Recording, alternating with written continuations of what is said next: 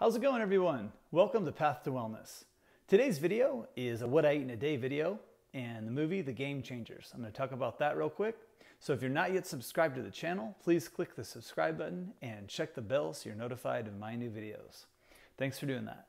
Yeah, so just chilling uh, inside right now. I got back from a run and I was going to shoot my intro outside like I normally do, but it started raining pretty hard. So I just figured I'd start the intro inside today of what I ate in a day. This was yesterday. And then I also went and saw The Game Changers yesterday, which is a documentary that was, I think, only in the theater last night on Monday. And then I'm sure it's going to come to streaming on Netflix or I'm not sure what channels, but it'll be on some sort of network streaming. So if you didn't get to go see that, I highly recommend that. It's probably one of the best documentaries I've ever seen. It's on plant based athletes and it's really compelling. Just a lot of great information, great story. So go ahead and check that movie out once you can. So anyway, this is what I had yesterday, and of course, intermittent fasting like normal.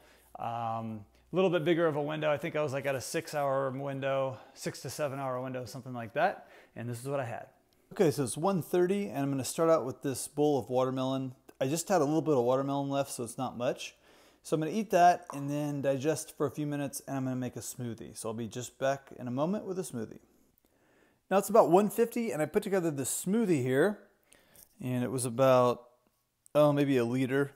And I used these ingredients, I just kind of threw them out here. I used a frozen banana, I used some coconut water, I used some fresh pineapple, some frozen berries, some chia seeds, some almond butter, and some Markus Rothkranz Green Pro C Mix. And I just added a little bit of water so it wasn't so thick.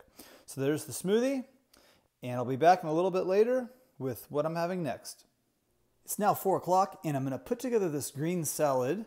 So I use some mixed greens and a half a cucumber, some tomatoes from my garden. I got an avocado, a Fuji apple, some mixed nuts, and some carrots.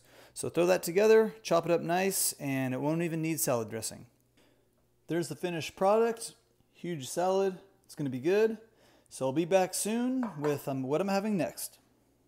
All right, it's five o'clock, and I put together a peanut butter and jelly sandwich on Dave's bread and a banana.